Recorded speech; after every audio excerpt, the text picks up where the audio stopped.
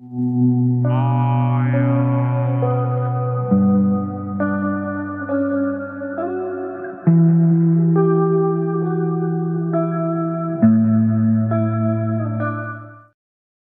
की शुरुआत होती है और हम एक भाई बहन को देखते हैं जो शहर से अपने गाँव की तरफ़ जा रहे थे। इनका नाम बेकी और कॉल है। बेकी प्रेग्नेंट थी, मगर इसके बॉयफ्रेंड को ये बच्चा नहीं चाहिए था। इसीलिए बैकी उससे नाराज़ होकर अपने भाई के साथ गाँव जा रही थी। रास्ते में इसकी तबीयत खराब हो जाती है, इसीलिए गाड़ी रोककर एक जगह आराम करते हैं। तभी इन्हें रोड के किनारे जो घास थी, उसमें से किसी बच्चे के चिल्लाने की आवाज़ आती है, जो हेल्प के लिए मदद मांग रहा था।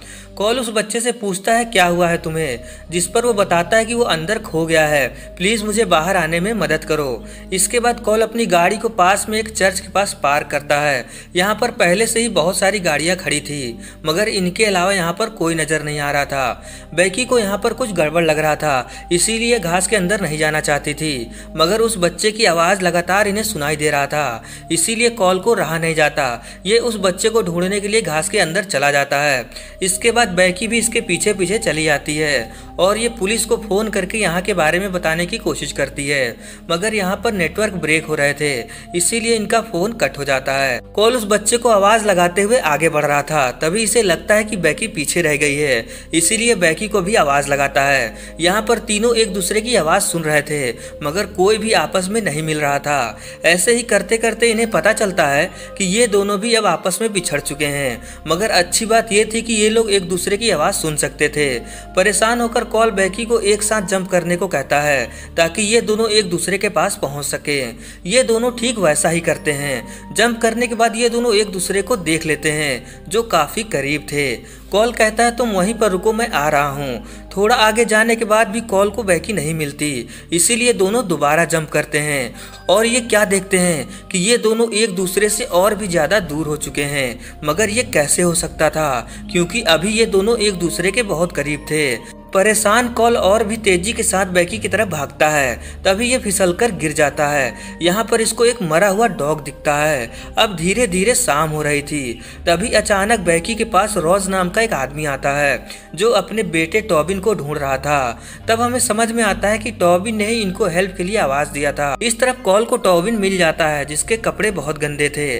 कॉल टॉबिन से पूछता है, यहाँ क्या चल रहा है? टॉबिन को देखकर ऐसा लगता है जैसे इसे किसी बात का डर न हो। ये कॉल से बताता है कि जल्द ही तुम्हारी बहन मरने वाली है।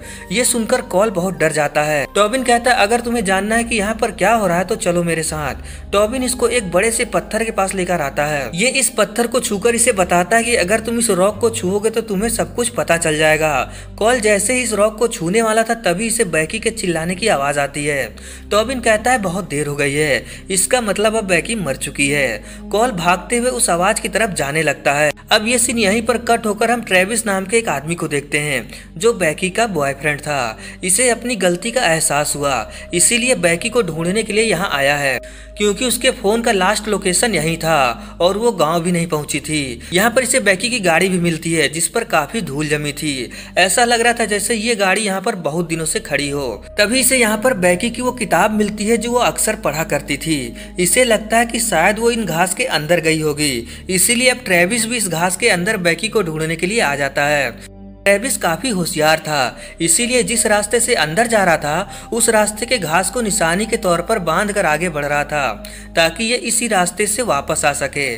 मगर ऐसा नहीं होता। जैसे ही ये आगे बढ़ रहा था, वैसे वैसे घास अपने आप खुलती जा रही थी। ट्रेविस सूरज को देखकर सीधे आगे बढ़ रहा था। तभी अचानक से सूरज अपनी दिशा बदलकर इसके पीछे आ जाता है। ये देखकर ट्रेविस को बहुत अजीब लगता है। अब ये भी इन घासों में फंस चुका था। देखते देखते रात हो जाती है। तभी अचानक अचानक से इसके सामने टॉबिन आता है, जो इसका नाम लेकर कहता है, तुम यहाँ पर क्या कर रहे हो? जल्दी चलो मेरे साथ। ट्रेविस इससे पूछता है, कौन हो तुम? और मेरा नाम कैसे जानते हो? टॉबिन कहता है, क्या तुम मुझे भूल गए? मैं टॉबिन हूँ, और तुम यहाँ पर अपनी गर्लफ्रेंड बैकी को ढूँढने के लिए आए हो। ये सुनकर ट्रेविस की तरह हम भी चौक जाते हैं कि आखिर ये बात इसको कैसे मालूम? खैर, ये सब हमें आगे पता चलेगा। इसके बाद टॉबिन इसको बैकी की डेड बॉडी के पास ले जाता है, जो बहुत ही खराब कंडीशन में थी। अगली सुबह यह बैकी की गाड़ी की चाबी लेकर बाहर निकलने का रास्ता ढूंढ रहा था। तभी इसे टॉबिन की आवाज़ सुनाई देती है। ये टॉबिन का नाम लेकर उसे ढूँढने लगता है। अब हमें घास के बाहर का सीन दिखाया जाता है, जहाँ टॉबिन साफ़ सुथरे कपड़े पहनकर अपने मोम डैड के साथ बाहर खड़ा था। इसे ट्रेविस की आवाज़ सुनाई दे रही थी, जो इसे घास के अंदर ढूंढ रहा था। तभी टॉबिन का डॉग घास के अंदर चला जाता है। टॉबिन भी उसके पीछे अंदर आता है और इस तरह एक एक करके टॉबिन की पूरी फैमिली घास के अंदर आ जाती है। यहाँ पर भी इन सबको एक दूसरे की आवाज़ सुनाई दे रही थी। ट्रेविस इन लोगों को घास के अंदर आने से मना कर रहा था, मगर तब तक ये लोग भी अंदर आ चुके थे और थोड़ी ही देर में ये सब एक दूसरे से अलग हो जाते हैं। ऐसे ही करते करते रात हो जाती है। अब हमें टॉबिन के डैड रॉस को दिखाया जाता है, जो उस पत्थर के पास पहुँच चुके थे। अब ये सीन यहीं कट होकर हमें अगले दिन का सीन दिखाया जाता है, जहाँ पर बैकी अपने भाई के साथ बाहर थी।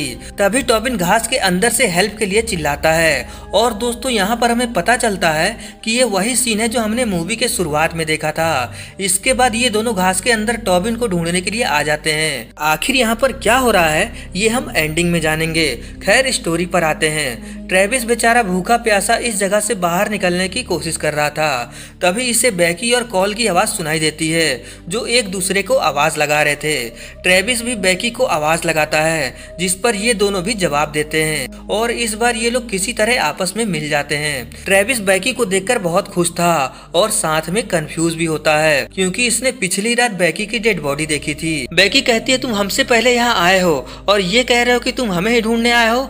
ये कैसे हो सकता है? यहाँ पर ट्रेविस बहुत ही अजीब बात कहता है। इसका कहना था कि ये इन दोनों को ढूँढने के लिए दो महीने बाद यहाँ पर आया है। ये सुनकर सभी लोग और भी ज़्यादा कंफ्यूज होने लगते हैं, क्योंकि इन्हें यहाँ आए बस कुछ ही समय हुआ था। खैर, आगे बढ़ते हैं। अब इन सबको एक साथ यहाँ से बाहर निकलना था। ट्रेविस टॉबिन को अपने कंधे पर बैठाकर यहाँ से बाहर जाने का रास्ता ढूंढता है। यहाँ पर इन्हें थोड़ी दूर पर एक घर दिखाई देता है। ये सभी लोग उस घर की तरफ़ एक साथ बढ़ने लगते हैं। तभी रास्ते में बैकी के मोबाइल पर किसी लेडी का फ़ोन आता है। मगर उसकी आवाज़ क्लियर नहीं थी, इसीलिए इन्हें कुछ भी समझ में नहीं आता। और तभी बैकी की तबीयत भी खराब हो जाती है, जिसके कारण ये यहीं पर बेहोश हो जाती है। और इत्तेफाक से टॉबिन के डैड भी यहाँ पहुँच जाते हैं, जो बैकी को किसी तरह से होश में लेकर आते हैं। इसके बाद ये लोग आगे बढ़ने के लिए टॉबिन के ज़रिए उस घर का रास्ता देखते हैं। मगर अब वो घर वहाँ से गायब हो चुका था और रात भी हो रही थी। रोज कहता है, मुझे यहाँ से बाहर निकलने का रास्ता पता है, पर उससे पहले मैं तुम लोगों को कुछ दिखाना चाहता हूँ। ये इन सबको उसी रॉक के पास लाकर इन्हें भी उस रॉक को छूने के लिए कहता है। कॉल इसकी बातों में आकर जैसे ही उस रॉक को छूने वाला था, तभी यहाँ टॉबिन की मोम आकर इन्हें रोक लेती है। इनका कहना था कि ये इसके पति नहीं है, बल्कि कोई बहरूपिया है। इसने अभी अभी अपने पति की लाश देखी है। ये सुनकर किसी को भी इसकी बातों पर यकीन नहीं होता। रोज अपनी बीवी को समझाने की कोशिश करता है कि तुम्हें जो देखा वो सच नहीं है। यहाँ पर रोज इन सबको बार बार उस रॉक को छूने के लिए कह रहा था। मगर इसकी बीवी की वजह से कोई भी इसकी बात नहीं मान रहा था। इसीलिए रोज अपनी ही बीवी का सर फोड़कर इसे मार देता है। ये देखकर बाकी के लोग रोज से डरकर भागने लगते हैं। अब बारी बारी से रोज इन सबको मारने वाला था। ये सबसे पहले कॉल को पकड़कर कहता है, तुम चाहे जितनी बार भी मुझसे बचने की कोशिश करो, लेकिन मैं तुम्हें हर बार मारता रहूँगा। और दोस्तों, यहाँ पर हमें कॉल की बहुत सारी डेड बॉडी दिखती हैं, जो हर बार यहीं पर आकर मर जाता था।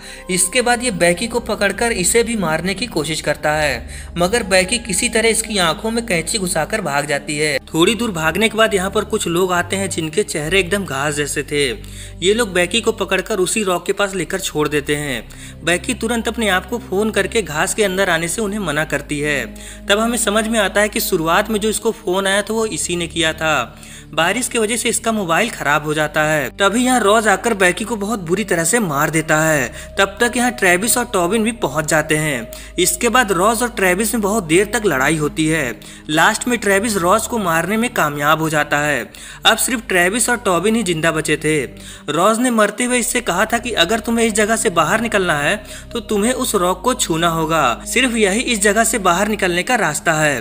ट्रेविस के पास इस रॉक को छूने के सिवा और कोई रास्ता नहीं था। इसीलिए ट्रेविस भी इस रॉक को टच करता है। इसके टच करते ही उस रॉक से बहुत सारी बुरी आत्माएँ इसके शरीर के अंदर प्रवेश कर जाती हैं और इसे यहाँ से बाहर निकलने का रास्ता भी मिल जाता है। मगर अब इसे देखकर ऐसा लग रहा था जैसे ये किसी के वश में आ चुका है। ये टॉबिन को बैकी की गाड़ी की चाबी देकर इससे कहता है, तुम्हें बाहर जाकर हमें यहाँ आने से रोकना होगा। टॉबिन कहता है, तुम मेरे साथ क्यों नहीं चल रहे हो? ट्रेविस कहता है, इससे पहले बहुत देर हो जाए, तुम्हें यहाँ से जाना होगा। और फिर एक झटके के साथ टॉबिन घास से बाहर आ जाता है। और यहाँ पर फिर से वही सीन रिपीट होने वाला था। बैकी और कॉल उस बच्चे की आवाज़ सुनकर घास के अंदर जाने वाले थे। टॉबिन भागते हुए इनके पास आकर रोते हुए इन्हें सारी बात बताता है और इन्हें इनकी ही गाड़ी की चाबी देकर कहता है कि ये मुझे ट्रेविस ने दिया है। हमें जल्द से जल्द यहाँ से बाहर निकलना होगा। अंदर घास से टॉबिन हेल्प के लिए चिल्ला रहा था। बैकी और कॉल को कुछ भी समझ नहीं आ रहा था कि आखिर इन लोग क्या करें। तभी बैकी की फिर से तबीयत खराब होने लगती है। अब इनके पास यहाँ से वापस जाने के सिवा और कोई रास्ता नहीं था। इसीलिए अब ये तीनों घास के अंदर न जाकर शहर की तरफ़ जाने लगते हैं। अंदर ट्रेविस इनकी बात सुन रहा था और देखते ही देखते घास पूरी तरह से ट्रेविस को अपने कंट्रोल में कर लेती है और इसी के साथ ये फ़िल्म खत्म हो जाती है। तो ये थी इस मूवी की कहानी। अब बात करते हैं आखिर इस मूवी में चल क्या रहा था और ये टाइम लूप कैसे शुरू हुआ और कैसे खत्म। तो देखिए, शुरुआत में हम बैकी और इसके भाई को टॉबिन की हेल्प मांगने पर इन दोनों को घास के अंदर जाते हुए देखते हैं। इसके बाद ट्रेविस दो महीने बाद इनको ढूँढने के लिए यहाँ आता है और ट्रेविस की आवाज़ सुनकर टॉबिन और इसकी फैमिली घास के अंदर आई। तो सवाल ये है कि सबसे पहले घास के अंदर कौन आया? तो देखिए, इसका कोई जवाब नहीं है, क्योंकि ये सभी लोग एक टाइम लूप में फंस चुके थे और ये लूप इस रॉक की वजह से हो रहा था। लास्ट में ट्रेविस ने टॉबिन की मदद से इस लूप को तोड़ दिया, जिसके कारण इन सबकी जान बच गई। और एक बात, इन घास के अंदर का समय अलग ही तरीके से काम कर रहा था, इसीलिए ये लोग आपस में नहीं मिल पा रहे थे, जैसे कि एक ही समय पर दो बैकी यहाँ पर मौजूद थी। मगर चाह कर भी ये लोग आपस में नहीं मिलते, क्योंकि इनका एक रूप दिन में था और एक रात में। ये सब कुछ उस रॉक की वजह से हो रहा था।